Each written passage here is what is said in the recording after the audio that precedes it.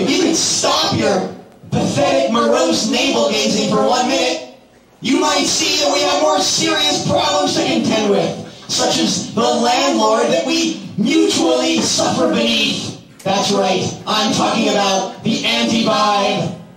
He's a terrible, terrible, terrible man. He's awful, and if you see him, you've got to stop him. He's one of those, but bigger and meaner. And he walks around the halls, all fucking self-important, like he's important or something. And he says important things like, Don't put thumbtacks in the walls, or you'll be out in the street.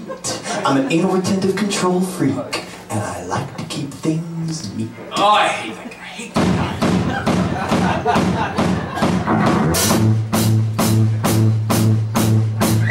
I'm so smart, I could have been a physician. I choose to make a out of ripping off musicians. Sweaty palace in the middle of a slum. And I charge a lot of money, but the idiots still come. So I pack them all into tiny lifeless cubicles. While I sit around and polish my cuticles.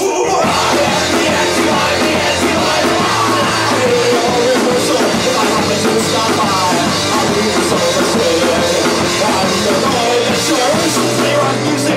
the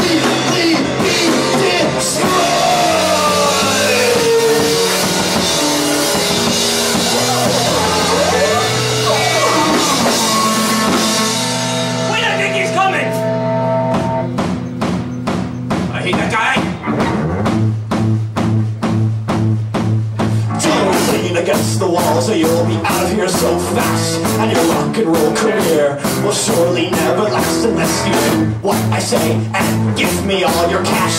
The sound of my voice has been known to cause a rash Use my special calculator, I will practice my addition But I keep it from your vain, misguided, pseudo-artistic ambitions. For I am the anti-vibe,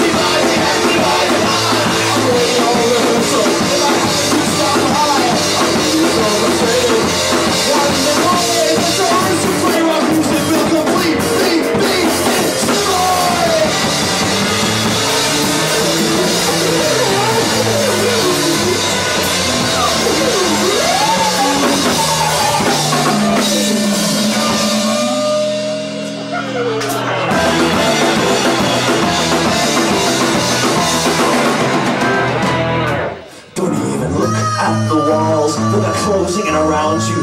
Stand there and listen while I go on and on about how I'm such a slick and savvy entrepreneur.